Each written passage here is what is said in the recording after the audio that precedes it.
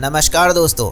दोस्तों, आप सबको पता है चुनाव और इलेक्शन आने वाले हैं और उसके लिए अब नई नई योजनाओं की शुरुआत हो चुकी है। तो ऐसी दो बड़ी योजनाओं को शुरुआत कर दिया गया है। उन दो योजनाओं के बारे में आपको बताते हैं, जिसमें पहली योजना के तहत आपको पचास हज़ार रुपये मिलेंगे, यानी कि आपके घर में अगर कोई लड़की या फिर छात्राएँ पढ़ रही हैं तो पचास हज़ार रुपये तक दिए जाएँगे। साथ ही साथ में गरीब घर के जो लोग हैं, उनको दो दो लाख रुपये दिए जाएँगे। ये दोनों योजनाओं के बारे में आज पूरा आपको विस्तार से बताएँगे, कहाँ पर शुरू हुई है, कौन से लोग इस योजना का फ़ायदा उठा सकते हैं, कैसे अप्लाई कर पाएँगे, सारी चीज़ें डिटेल समझते हैं। सबसे पहली योजना की बात करते हैं तो उससे पहले एक लाइक ज़रूर कर दीजिएगा वीडियो को। अब बताते हैं आपको पहली योजना, जिस योजना के अंतर्गत आपको पचास हज़ार रुपये मिलने वाले हैं। और आप सबको पता है, लोकसभा चुनाव आने वाले हैं और इसके लिए सियासी बाज़ार पूरी तरह से सच चुका है। हर राजनीतिक पार्टी अपनी रणनीतियाँ लेकर आ रही है, ताकि मतदाताओं को लुभाने की पूरी की पूरी कोशिश कर रही है। इसी चुनावी दौर को देखते हुए विश्वविद्यालयों में स्नातक पास तीस छात्राओं को प्रोत्साहन राशि दी जाएगी, जिसमें छात्राओं को जल्द ही पचास हज़ार रुपये दिए जाएँगे। अब कैसे मिलेंगी, उसके बारे में भी आपको बताते हैं।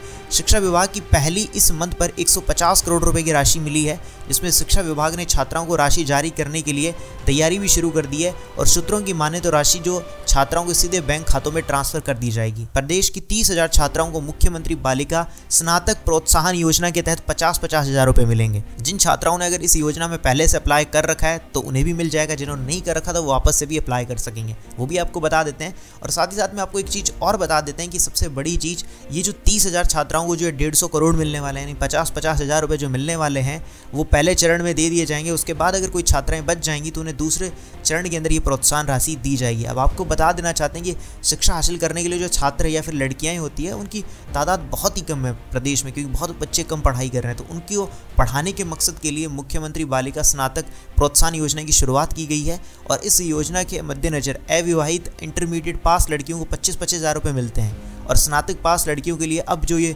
योजना बना दी गई है, इसके तहत पचास हज़ार रुपये दिए जाएँगे। और ये योजना की जो शुरुआत है, बिहार के अंदर की गई है तो बिहार में इस योजना का पूरा फ़ायदा उठाया जा सकता है। वहीं दूसरी योजना की बात करते हैं, उसमें गरीब परिवारों को दो दो लाख रुपए दिए जाएँगे।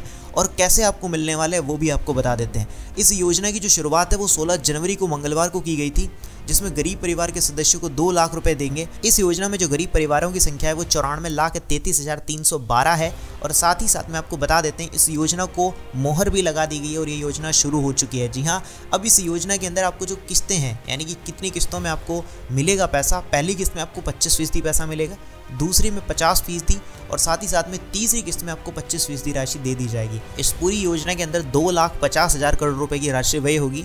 दरअसल ये योजना जो शुरू की गई है, वो नीतीश कुमार ने शुरू की गई है और साथ ही साथ में इसे 22 नवंबर 2023 में विधानसभा में घोषणा हुई थी। उनका कहना है कि जाति आधारित गणना में सभी वर्गों को मिलाकर बिहार में चौरानवे लाख ऐसे गरीब परिवार हैं जिनके पास में रोज़गार नहीं है तो उनको परिवार के सदस्यों को रोज़गार हेतु दो लाख रुपए तक की राशि उपलब्ध कराएँगे। और उतना ही नहीं, मुख्यमंत्री ने यह भी कहा, तिरसठ हज़ार आठ सौ पचास जो आवासहीन या फिर भूमिहीन परिवारों को ज़मीन क्रय करने के लिए दी जा रही साठ हज़ार रुपए की राशि सीमा को बढ़ाकर अब एक लाख रुपए कर दिया है। यानी घर जो खरीदना चाहते हैं, उनको भी मदद मिल जाएगा।